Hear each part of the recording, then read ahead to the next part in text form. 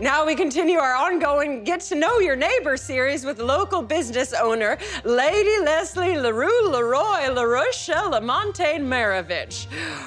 You ain't seen my paw, have you? Sorry, Daisy. Folks are saying he got ate up by that twister what done destroyed the south field. Okay, I'm gonna make a, a, a an orange drink.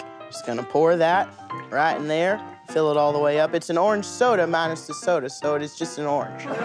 Uh, so tell us, Lady Leslie, uh, what's the name of your saloon? Oh, the name of my saloon is Bustin' Loose.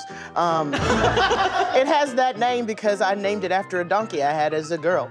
It would bust loose from the yard. Your donkey's name was Bust Loose? Sure was, Daisy.